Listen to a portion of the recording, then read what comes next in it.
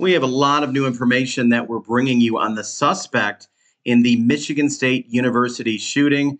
He killed three people, injured five others at a shooting at Michigan State University. Well, now we're learning that he actually was legally allowed to have a gun despite being charged in the past with a felony gun crime go ahead and share this video out with everybody right now and subscribe and follow me right here. There's a f- subscribe or follow button where you can follow me because we're going to be updating the story as we learn more. But take a look at your screen. I'm going to go ahead and show you what we're looking at right here. Take a look at that. This is the suspect. Not going to name him. We don't need to know his name because, you know, he is a horrible, horrible human being.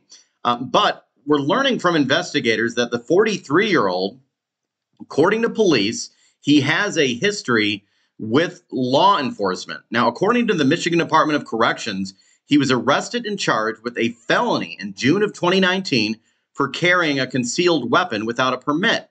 However, he later pleaded guilty to a misdemeanor for possessing a loaded firearm instead.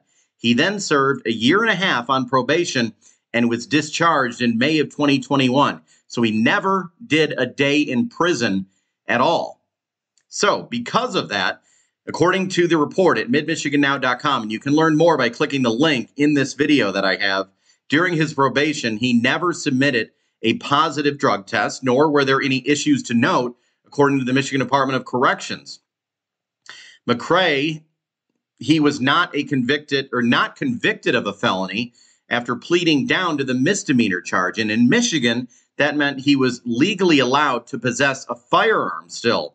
Now, the gun found on him when he was arrested in 2019 was legally registered to him, according to court records. At the time of that 2019 arrest, he told police that he carried the gun for his own safety and that he was attempting to obtain a concealed carry permit. Prior to that arrest, McRae's record showed he had four counts of driving with a suspended driver's license, but uh, it doesn't appear as if anything violent in that case. So, the new information that we're learning about the suspect now is that he escaped felony firearm charges due to a plea deal. So if he would have been convicted on that felony firearm charge, then he would not be able to legally have a gun. So he was still legally allowed to have a gun in Michigan. But as we know, even if people who are not legally allowed to have weapons, they still have weapons. Just a tragedy for everybody involved.